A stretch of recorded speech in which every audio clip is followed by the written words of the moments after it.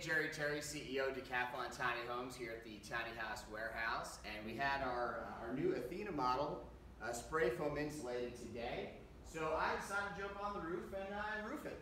Um, and I figured while I'm at it, uh, maybe I can explain to you a little bit about why we choose the roofing that we did and a little bit about how this system goes together. So it started when we were looking for roofing. We really wanted something that looked more like a house, a residential home.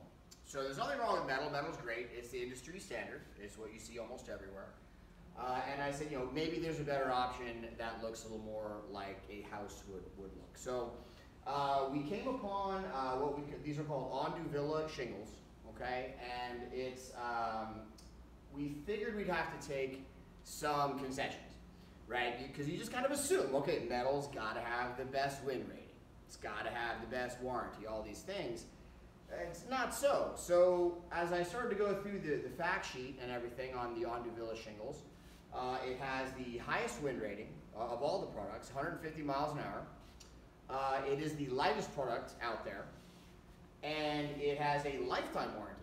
So it uh, a lot of things really started to come together there.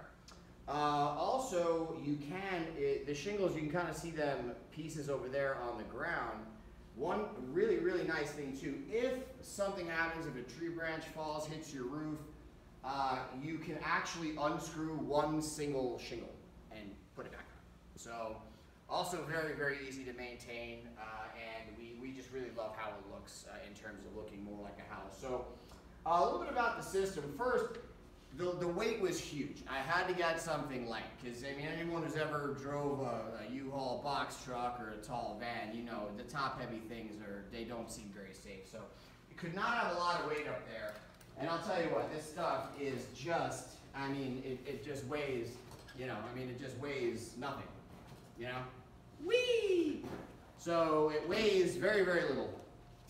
But once you put it on, as you can see from the application, with the screws and all of the, uh, on all the bunks there, uh, all the way up, you literally can't even rip it off the house. Like you have to take the screws out. You cannot tear this material. I've, I've tried, it, it, didn't work. So that is uh, really, really good material there. So this is uh, just kind of the system and how it goes together here.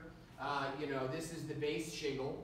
Uh, at the very bottom shingle, uh, you're going to have a, uh, at the very, very first piece, you'll have this piece here, which we generally use glue to put that in there before we install the shingle. That just keeps the ventilation going and keeps like critters from getting up into these, uh, into these uh, uh, creases here.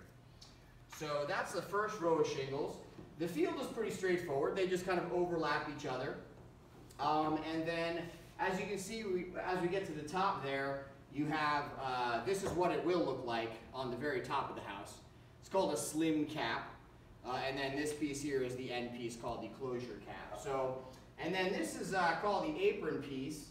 Uh, that's what, I have installed that up there, just not with the cap yet. So it really has a nice finish. Uh, really kind of comes together in a really clean, tight way when it's all put together and screwed down. So you can see here, if the, you know, the wind's blowing rain up under here, right, what, where's it going to go? It's going to go right into that wall. So there's really just no way for even a heavy, heavy blowing rain to get in. And maybe my favorite is the, uh, I even love the name of this, it's called the, the Verge piece. Verge. So that's that PCC on the end there. It's not fully screwed on yet, but the, uh, these, this is a very, it's a very substantial look. I really like how, you know, the, the rake, we call these rake ends, how the gable and the rake ends have a really substantial finish out. So uh, the trim pieces with a material like this is really important, and I really like how they how they came together.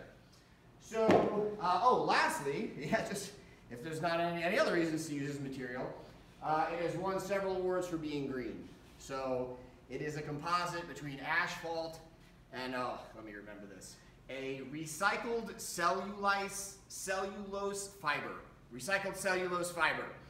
Uh, I have no idea what that is but it has won awards for being green. So it's light, it's green, category 4 hurricane wind rating. So uh, it, that is how we ended up with it. But it came from the very first idea of let's find something that looks more like a residential home. So that was the first idea, and then we just ran into what uh, seems like it's a great product to use on a tiny house. Thank you very much.